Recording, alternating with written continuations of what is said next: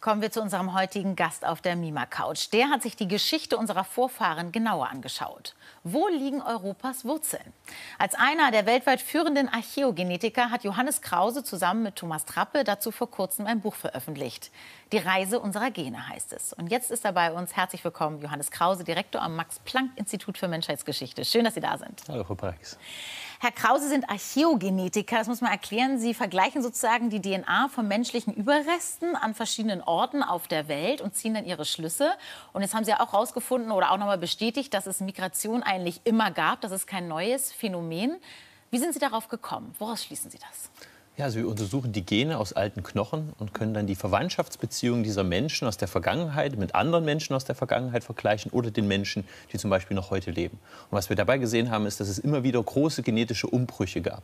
Das heißt, das deutet darauf hin, dass es Einwanderungen gab, weil sich der Genpool der Menschen beispielsweise in Europa, aber auch in anderen Teilen der Welt plötzlich verändert hat häufig mit kulturellen Ver Veränderungen. Zum Beispiel als der Ackerbau nach Europa kam, kam der nicht nur als Kultur, sondern mit Menschen. Da kamen neue Menschen, in dem Fall aus Anatolien, haben den Ackerbau hierher gebracht und haben die lokalen Jäger und Sammler verdrängt. Und solche Ereignisse sehen wir im Prinzip auf der ganzen Welt immer wieder und wir sehen sehr viel genetische Vermischung durch die im Prinzip letzten Jahrtausende.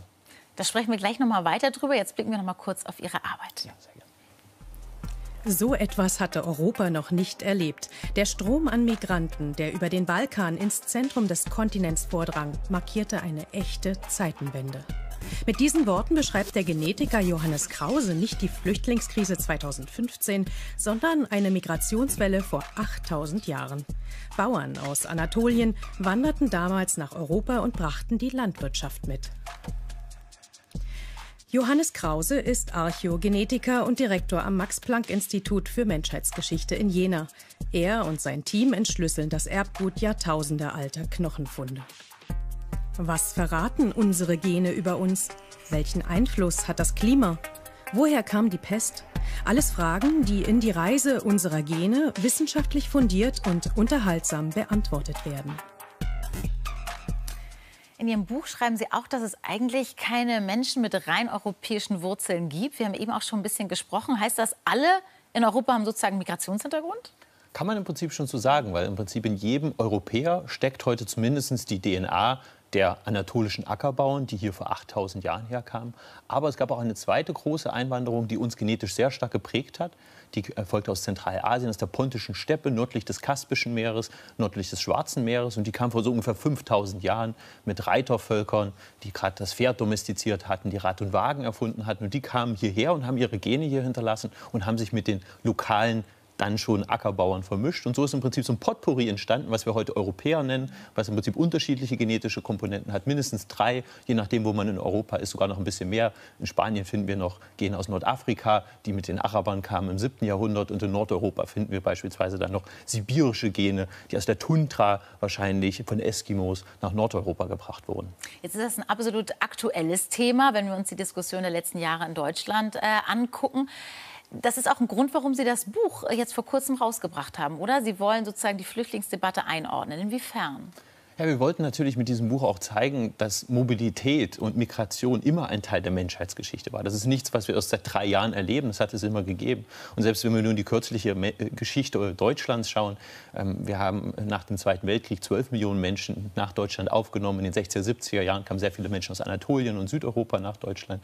1990 kamen sehr viele Menschen aus Ostdeutschland nach Westdeutschland. Das heißt, Migration hat es im 20. Jahrhundert gegeben, das ist keine Frage. Aber natürlich auch massiv in der Vergangenheit. Sogar so massiv, wenn wir wir uns beispielsweise diese großen Migrationsströme anschauen, vor 5000 Jahren, vor 8000 Jahren, um was Ähnliches heute zu produzieren, bräuchten wir allein nach Deutschland eine Milliarde Einwanderer. Ja, also so groß waren diese großen quasi Flüchtlings- oder Migrationsbewegungen dieser Zeit.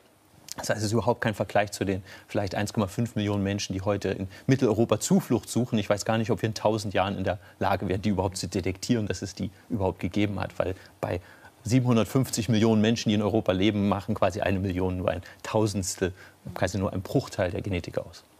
Sie haben auch vor kurzem eine jene Erklärung geschrieben mit Kollegen zusammen, äh, wo es um den Begriff der Rasse geht. Es gibt ja keine menschlichen Rassen, die sind sozial konstruiert.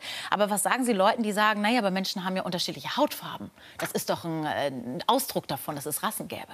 Ja, es gibt natürlich unterschiedliche Phänotypen und natürlich gibt es Variationen in der Welt und es gibt genetische Unterschiede auch. Allerdings sind die sehr gering. Es gibt viel mehr genetische Unterschiede innerhalb einer Population als zwischen den Populationen. Das sind sogar sehr, sehr wenige Unterschiede noch.